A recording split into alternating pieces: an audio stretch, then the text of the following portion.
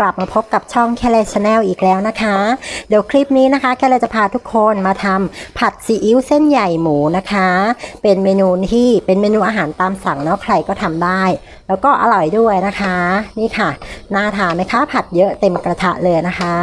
แต่ก่อนจะไปรับชมวิธีทำก็ฝากทุกทุกๆท่านช่วยกดติดตามให้กับช่องของแค่เลด้วยนะคะ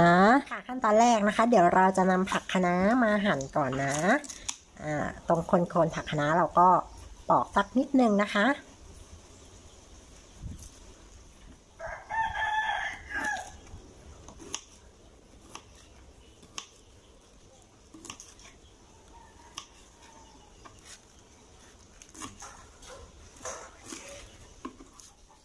หมูค่ะนำมาหั่นได้เลยนะคะ ชิ้นนะคะก็หั่นชิ้นพอดีคำนะคะ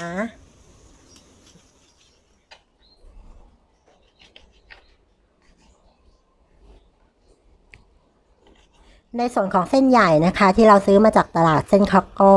จะยาวๆแบบนี้เนาะเราก็มาทำการฉีกเอานะคะ นี่ค่ะง่ายๆค่ะ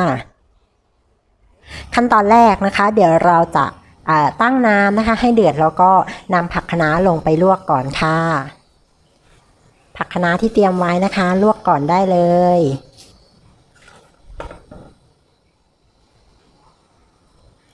ค่ะเมื่อผักคะน้าสุกแล้วนะคะ ก็ตักออกได้เลย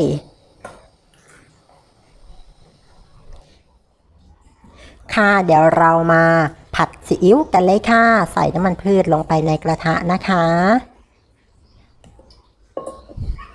เมื่อน้ำมันร้อนนะคะ ใส่กระเทียมลงไปผัดได้เลยค่ะ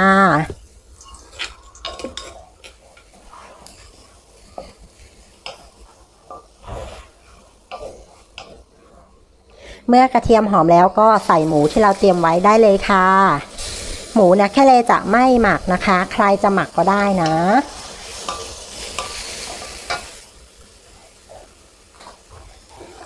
ผัดให้หมูสุกก่อนเลยค่ะ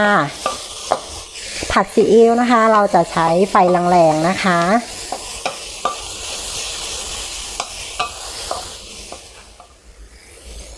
การใส่ไข่ไก่เนี่ยเราต้องเขี่ยหมูไว้แถบหนึ่งก่อนนะคะ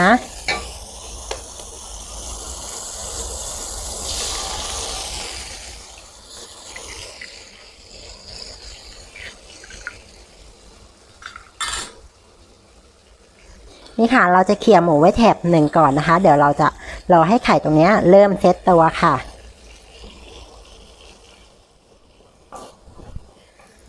ค่ะเมื่อไข่ไก่เซตตัวแล้วนะคะ เราก็ผัดผสมเข้ากันได้เลยค่ะ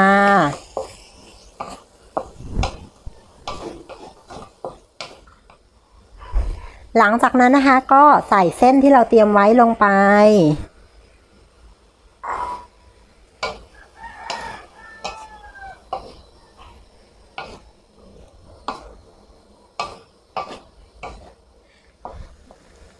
ขั้นตอนของการปรุงรสชาติก็ใส่ซีอิ๊วขาวลงไปนะคะ น้ำตาลทราย พริกไทยป่นค่ะ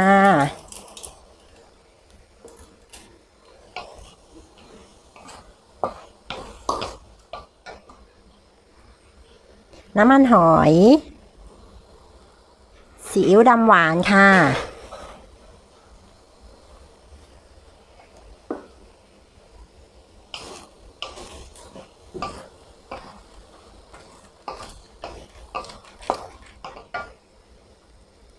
ตามด้วยรสดี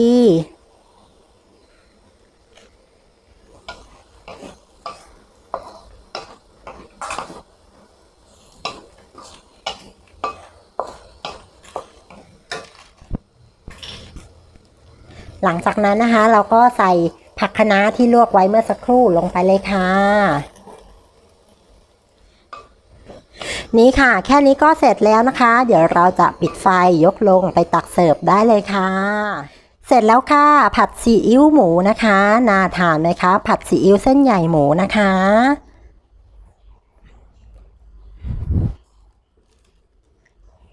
ค่ะรสชาตินะคะ เราก็ปรุงได้ตามชอบเนาะค่ะถ้าชอบวิธีทำนะคะ ก็ฝากกดติดตามให้กับช่องของแคเลด้วยนะคะ แล้วเดี๋ยววิดีโอหน้ากลับมาเจอกันใหม่ค่ะ สวัสดีค่ะ